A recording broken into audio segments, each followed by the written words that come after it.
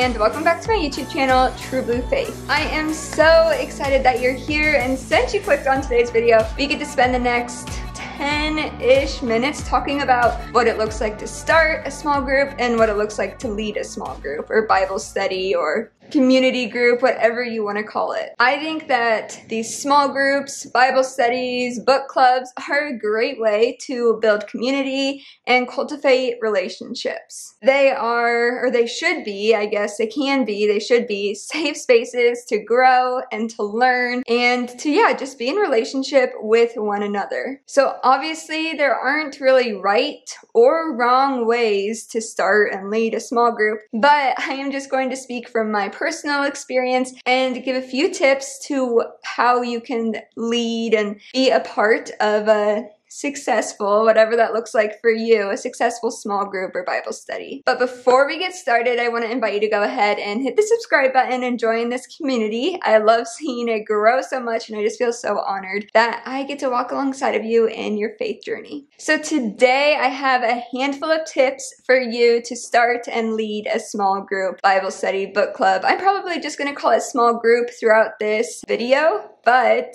that hopefully just encompasses all types of small group, whatever small group you are interested in starting. So in the beginning of this video, there were a few clips put together from my own personal small group. It was just me and my roommates. We read a book together this past semester and used that book to really grow and challenge one another. And it was a really great experience, which led me to creating this video to hopefully give you encouragement and confidence to go and start your own small group. So before you start a small group, I would encourage and recommend to pray about stepping into this commitment. By starting a small group, you are stepping into a leadership role, and it doesn't have to be a huge commitment by any means, but it's a commitment that takes time, it's a commitment that takes preparation. So I would really truly encourage you to pray before stepping into it and making sure that there's space in your heart, making sure that there's space in your life, both time and emotional space for you to walk alongside other people. It's not always super easy and it can be exhausting, especially when you are looked to as the leader of a small group.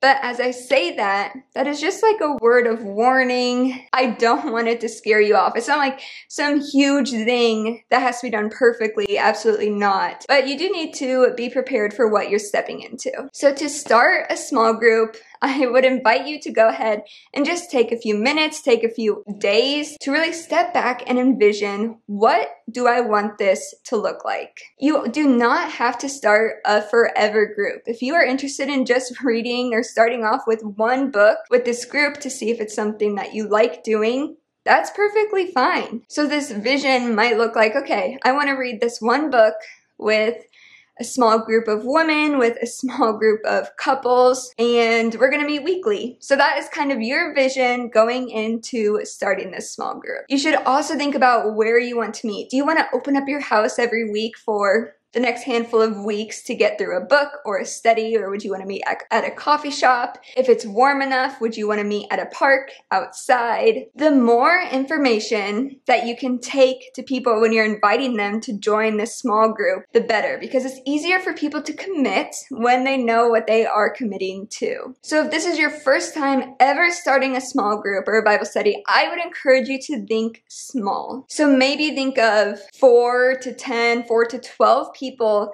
that you think would be able to make this commitment to walk alongside of you, be vulnerable, and just be a part of a group and a community. The smaller the group, the more intimate you can be. The deeper those conversations can go when everyone has a chance to chime in and talk and speak about what's on their heart. If you have a group of 20 people, not everyone's gonna have a chance to speak often, and that could be kind of detrimental to growing an intimate life group. So the next thing is to decide what you want to read or what you want to study. A few suggestions that I have if you're looking at books, um, the one that you saw in the intro, That Sounds Fun by Annie F. Downs was so fun to read and it really sparked our imagination and it was really easy for all of us to connect even though we all come from different areas of life. I think that would be a great book to start with.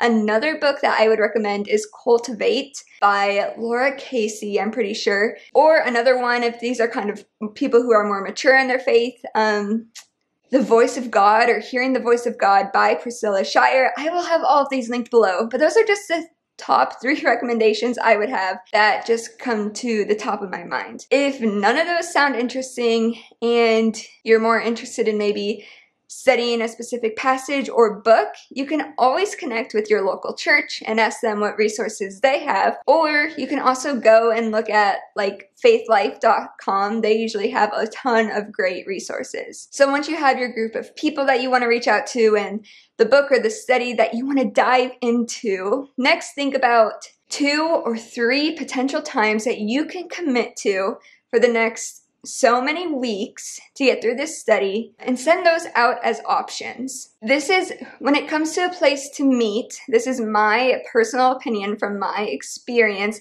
I think that it is best to meet at one place per unit. So one place per study, one place per book. So if you want to open up your house for the next five weeks to read one book, that is a consistent place to meet, and that's very generous of you. Um, if you're not interested in opening up your house, you, you can also say, let's meet at this coffee shop these days, or let's meet at this park these days at this time. The more consistent that you can make it, the easier it will be for people to open up, feel safe, yeah, and just create that really strong community that you might be desiring or another person might be desiring. Obviously, when I say that, it's important to remember that things come up and you might need to change your location. If you're meeting outside, it might storm. If you are meeting in your house, you know, you might get sick. So things do come up, but just to make the path as clear as possible for people to see and commit to will make it easier to be successful. Okay, so we've got the starting a small group down. We've got the people, we've got the place, we've got the book, we've got the times.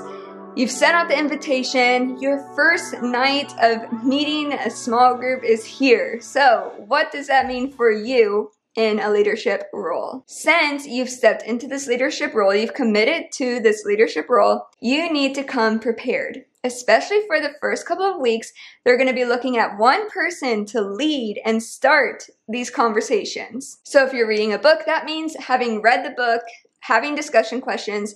For some books, you can find discussion questions online. It's not like you need to create your own discussion questions, and that might be something to consider when you're picking out a book or a study.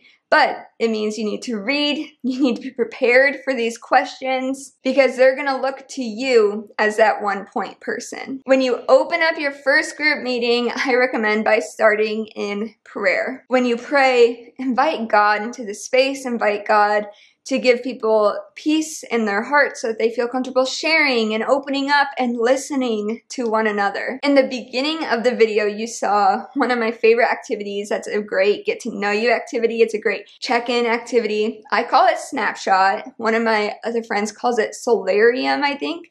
But essentially, they're a deck of cards, you lay them out, every card has a different picture on it, and then you can ask questions like, or you can give prompts like, pick a card that really shows how you are feeling today. Or if it's with a spiritual group, you can say, pick a card that demonstrates your relationship with God right now. So then people in the group can pick their card and then you can go around the group and give everyone a chance to show their card and help use this photo as a reference as they share what's on their heart or what's on their mind. So after you do the check-in, you do the prayer and you're ready to get into the discussion questions, I want to encourage you that silence is okay. Silence is actually really, really great and really important sometimes in small group settings. Especially when the group is getting to know one another, sitting in silence is really important because it gives people, or some people who may not be the first to speak up, it gives them the opportunity to collect their thoughts and gain their confidence, maybe feel a little bit of pressure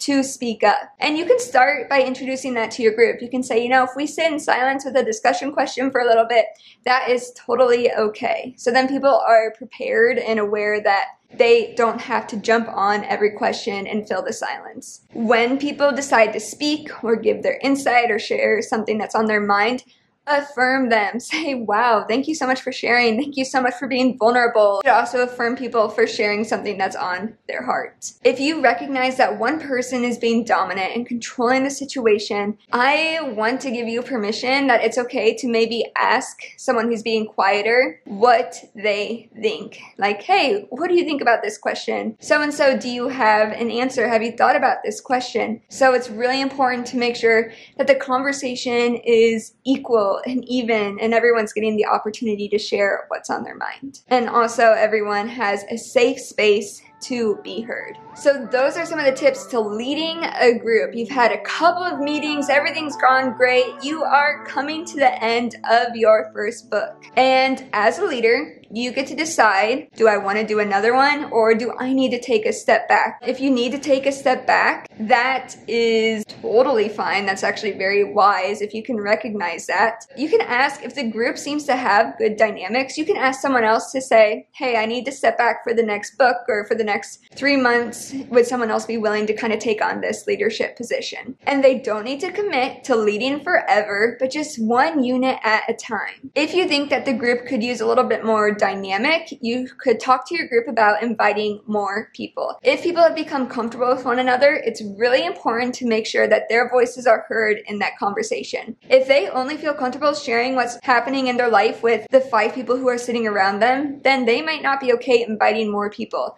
And that is okay. You really need to respect people's boundaries as a leader. When you're thinking about what book you want to read next, if you don't have a specific book in mind, you can also ask your group, is there anyone who has a specific book that they would recommend? And then you can vote on it, or as a leader, you can honestly just make the executive decision. The last tip I have is something that I've experienced as a small group leader is so you have a couple great units, everyone is showing up, it's going so well, but then you have one person who starts to not show up, but maybe they're still a part of the group chat, or maybe they only show up every so often. People feel most comfortable to share, express, open up when they are in a consistent environment. Although it might be awkward, as a leader, you might need to reach out to that person who's not being that consistent and say, hey, I see that you have a lot going on right now. Is it okay if maybe you step back for this unit and you can pop back in on the next one or whenever you're ready again?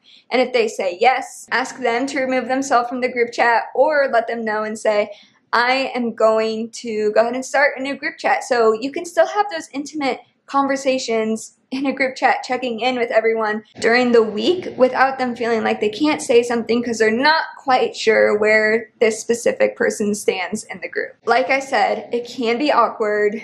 I've definitely had that conversation and I've done it wrong and I've hurt some feelings and then I've had that conversation where I've done it right. And people have been so understanding and they're like, yeah, I do have a lot going on. Um, thanks for recognizing that. I just felt pressure like I needed to stay in. To recognize that there's other things going on and giving people the space to back out at the end of a unit or whenever you just recognize they might be ready to step back is important and that's a really good skill to have as a leader. When someone comes ready to share something that's going on in their life, they want to know who they're going to share it with, they want to know who's going to be there, and they want to make sure that they are sharing it with people who are going to walk alongside of them and show empathy and love them through it. So, as a leader, you have the great and lovely privilege of providing that space for people. Like I said, small groups can change lives. Finding a community is so important, especially when you are trying to live out the gospel. You need people who are going to do life with you. So, a fun final tip to be the one of the great leaders, something that might make you stick out or make your group stick out, find out birthdays, special events, anniversaries. Find out things that are important to people, special days that are important to people, and celebrate. Celebrate the person, celebrate what they love. Let's say they have a kid graduating or they're graduating from college, celebrate them. It is so important to celebrate, especially when you might have a week of hard conversations or maybe you just finished a heavy book. Go celebrate someone, find something to celebrate, and make sure that you have serious conversations, but then you also have a lot of fun. And also, it's just awkward when you might show up for a small group and someone's like, it was my birthday yesterday and no one knew. So just make sure that you have those special dates so that you can be there and support people the best way possible. So those are all the tips I have for you for starting and leading a small group. These are pretty like overhead and surface level tips. So if you have any questions or you have any additional tips, leave them in the comments below. And if you are not yet subscribed to my channel, please go ahead and hit the subscribe button. Thanks so much for hanging out with me today and I hope that you find these tips helpful and useful and good luck starting your small group. I hope that you guys all stay safe and healthy and I will see you next time. God bless.